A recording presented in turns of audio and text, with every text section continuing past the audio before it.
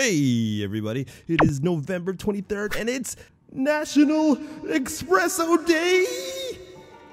I love espresso. Now, look, I used to be a tea guy when I was younger. My dad loves tea, so naturally we all drank tea in my house. I didn't know crap about coffee or espresso, but oh man, I love it. I love it. I got lucky. There was this amazing coffee shop that I used to go to back in the day. They really taught me a lot about espressos and coffee and just opened that, that whole world to me. So I figured, what better way to celebrate this holiday than for me to bring in a guest and help teach you guys a little bit about this amazing drink. So without further ado, Maximo, Maximo Espresso, come out here, man. Tell these folks about espresso. Come on, man. Come on. Grazie, grazie. Ah, grazie. Maximo, thank you so much for coming out today on such short notice to help me with this video. Ah, don't worry about it, Paisan. I am so juiced right now. I could I could probably run a five five K marathon right now, I'm not gonna lie. Mamma mia. I know what you mean. I know what you mean. So, uh, Maximo, um, you know, tell us a little bit about yourself. Ah, mamma mia. I am a Maximo Espresso. Today I uh, run straight from Italy to tell you about uh, the top 10 things you did not know about espresso. Hmm. Well, Cool. Thanks, Maximo. Hmm. 10 things I didn't know about espresso. Sweet. I'm kind of looking forward to this. So much I don't know. Yes, uh, espresso it's kind of like a art and science mixed up together in one perfect drink. See. All right, let's hear it. Number one, espresso has no set taste. See, espresso is basically different elements that come together to develop a taste of a cup of espresso. There are so many different parts, from the region of from where the beans grow to the pressure used to make the cream. It is like a fine wine. Uh, cool, cool. Yes, I know it's very, very cool. Mm. Number two, espresso does not have more caffeine than a traditional cup of coffee.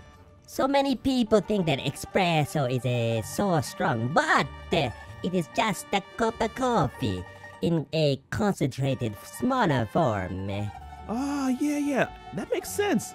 So, if I drink a huge jug of espresso, you will explode. Number three, espresso. It has three main components. See, all espresso is made out of three basic components the crema, the foamy top layer, the body, the middle layer with all the coffee stuff, and the heart makes up the bitter bottom layer. it's kind of like a like a parfait or a sundae, huh? Uh, yes, I guess you could say that. Uh, number four, it should be a stirred. So to achieve the greatest flavor, some say that the espresso should be stirred. By mixing the components together, they all balance out to make a perfect blend of flavors. It is a very, very nice. Mmm, that sounds good. That is so true.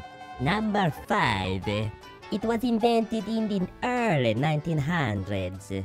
You see, during the Industrial Revolution in Italy, Italian factory owners were trying to shorten the coffee breaks for their workers. So, a guy named Luigi Bezzera built a machine that could concentrate the cup of coffee and make it all in about uh, 30 seconds. It was very fast. So wait, wait, wait. So you're telling me that espresso was basically invented so factory bosses could just cut down a worker's break time? Is that what you're saying? I know, I know, it's kind of it's kind of messed up, but now that you think about it. But hey, but what are you gonna? Number six, uh, espresso will start losing the flavor within minutes after being brewed. Oh yeah, yeah. I've heard this before. Like my friend Marco from Italy, he actually taught me this. You gotta drink it quick like a shot.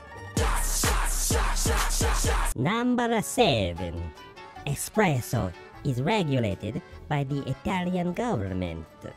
You see, because espresso is such a such an important part of a Italian daily life, the government oversees its consumption and its prices. Really?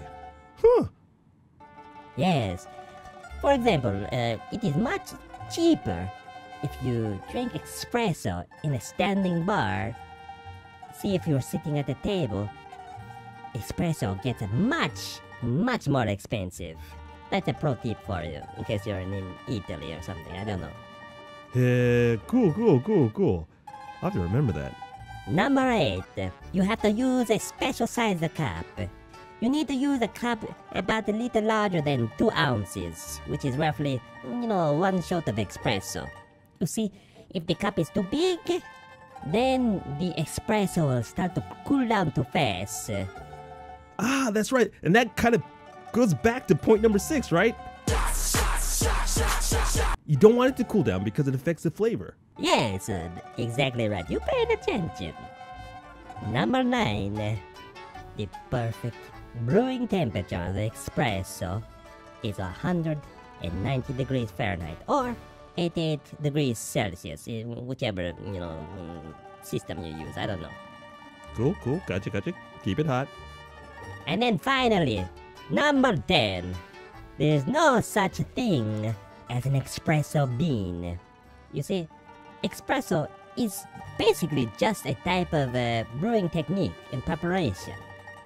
Yeah, you know, it's funny you should say that. I used to think that for the longest time that espresso was like a special kind of bean or something like that. It's just regular coffee. See, see, yes. Espresso is just high temperature water forced through a finely ground coffee beans. Cool, cool. There you have it. Thanks, Maximo, for sharing that top 10 list about things you might not know about espresso. Thanks so much, man. Ah, no problem. Ciao, bella, bella. Okay, so like if you want to celebrate this cool holiday, just go out and enjoy a nice cup of espresso. Maybe, you know, take a photo of it, uh, put it on social media, use the hashtag National Espresso Day. Share it with your friends. Thank you guys so much. Thank you, Maximo, for coming over and sharing with us. And that's pretty much it. There's only one thing left to do. Thanks everyone for sticking around watching this video. Um, listen, if you like this video and you want to see more, please hit that like button and leave me a comment and subscribe. It lets me know that you really care and it inspires me. It makes me want to make more of these things, okay? So, uh, yeah, that's pretty much it. See you for the next holiday. All right, you guys take care. Bye-bye.